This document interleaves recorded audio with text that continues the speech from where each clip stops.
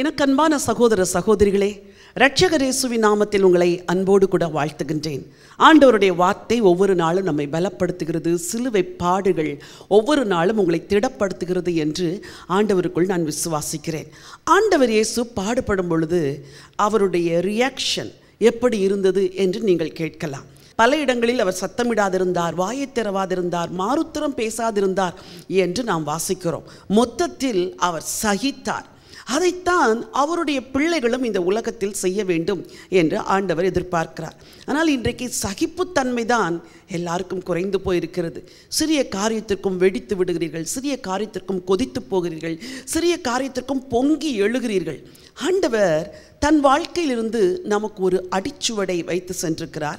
அந்த அடிச்சுவடை இன்றைக்கு கற்றுக்கொள்ளப் போகிறோம். அந்த அடிச்சுவடை பின்பற்றப் போகிறோம். இயேசுவை போல மாறப்போகிறோம் ஒரு வேத பகுதியை வாசிக்க விரும்புகிறேன். ஒன்று பேதுரு ரெண்டாம் அதிகாரம் இருபத்தி ஒன்று இருபத்தி ரெண்டு இருபத்தி மூன்று வசனங்கள். இதற்காக நீங்கள் அழைக்கப்பட்டு இருக்கிறீர்கள் ஏனெனில் கிறிஸ்துவும் உங்களுக்காக பாடுபட்டு நீங்கள் தம்முடைய அடிச்சுவடுகளை தொடர்ந்து வரும்படி உங்களுக்கு மாதிரியை பின்வைத்து போனார். அவர் பாவம் செய்யவில்லை அவருடைய வாயிலே வஞ்சனை காணப்படவும் இல்லை.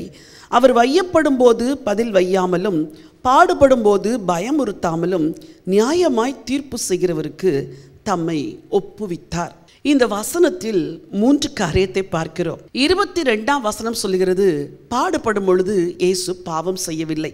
இருபத்தி மூன்றாம் வசனம் சொல்கிறது அவர்களை பதில் வையவில்லையாம் இயேசு. மூன்றாவதாக அவர்களை பயமுறுத்தவில்லை. இதுதான் இயேசு பாடுபட்ட போது அவர் நமக்காக வைத்து சென்ற அடிச்சுவடுகள். He didn't commit sin while he was suffering. He didn't revile in return and he didn't threaten them. These are all the three things இந்த மூன்று காரியங்கள் தான் அவர் உங்களுக்கு வைத்து சென்ற அடிச்சுவடுகள். அவர் பாவம் செய்யவில்லை என்று வேதம் சொல்லுகிறது. ஒருவர் தன்னை அடிக்கும் பொழுது அல்லது தன்னை உபத்திரவப்படுத்தும் பொழுது கொஞ்ச காலம் பொறுப்பார்கள்.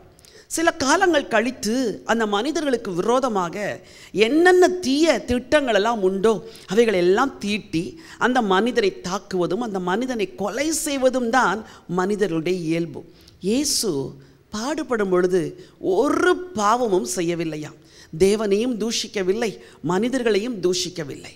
வசனம் சொல்லுகிறது அவர் பாவம் செய்யவில்லை. அதை அடுத்த வசனம் சொல்கிறது அவர் பதில் வையவில்லை. வேதம் எவ்வளவு தெளிவாக சிறிய சிறிய காரியங்களை போதிக்கிறது பாருங்கள்.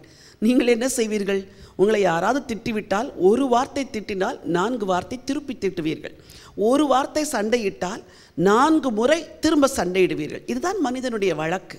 ஆனால் இயேசுவை குறித்து அவர் பதில் வையவில்லை என்று வேதம் சொல்கிறது சற்று அந்த காட்சியை கண்களுக்கு முன்பதாக நிறுத்தி பாருங்கள். இத்தனையோ பேர் அவரை சுற்றியிருந்த ரோம போர்ச்சேவர்கள் எல்லாம் அசுத்தமாய் பேசியிருப்பார்கள் தூஷணமாய் பேசியிருப்பார்கள்.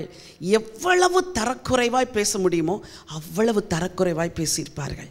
வேதம் சொல்கிறது அவர் பதில் வையவில்லை. என்ன ஒரு அற்புதமான அடிச்சுவடு. பாவம் செய்யவில்லை பதில் வையவில்லை. மூன்றாவது சொல்கிறது அவர்களை பயமுறுத்தவில்லை. நான் யார் தெரியுமா? வானத்தையும் பூமியையும் படைத்த தேவனுடைய குமாரன். நான் நினைத்தால் இப்பொழுது என் பிதாவினிடத்தில் கேட்டால் ஏராளமான தேவ தூதர்கள் வந்து உங்களை எல்லாம் சுட்டரித்து விடுவார்கள். அப்படியெல்லாம் இயேசு பயமுறுத்தவில்லை. சற்று பொறுங்கள் நான் மறித்து உயிரோடு எழுந்த பிறகு உங்களை எல்லாரையும் நான் தண்டிக்கிறேன். உங்களை நரகத்தில் தள்ளுகிறேன் என்றெல்லாம் இயேசு சொல்லவில்லை. அவரை துன்பப்படுத்தின அந்த ரோம போர்ச்சேவர்கள் கூட இயேசுவை அறிந்து கொள்ள வேண்டும் என்று அவர் ஜெபம் செய்தார். எனக்கு அன்பானவர்களே இதுதான் பாடுபடுகிற உங்களுக்கு இயேசு வைத்து செல்கிற அடிச்சுவடு. இன்றைக்கு ஒரு தீர்மானம் எடுங்கள். பாடுபடும் பொழுது இயேசுடைய அடிச்சுவடுகளை மாதிரியாய் பின்பற்றுவேன் என்று முடிவெடுங்கள். உங்கள் வாழ்வு ஆசீர்வாதமாயிருக்கும். அன்பின் ஆண்டவரே பரலோக பிதாவே நீர் பாவம் செய்யவில்லை பதில் வையவில்லை பயமுறுத்தவில்லை என்று வேதத்தில் நாங்கள் வாசிக்கிறோமே. இது எங்களுக்கு அடிச்சுவடுகளாக இருக்கட்டும் அப்பா.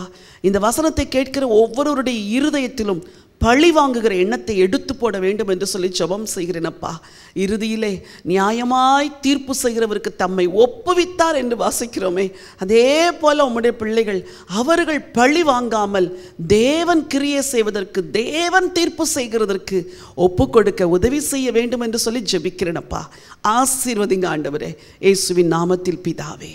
ஆமேன். பிரியமானவர்களை ஆண்டவர் இயேசுவின் அடிச்சுவடுகளை பின்பற்றுங்கள். அவரைப் போல மாறுங்கள். God bless you.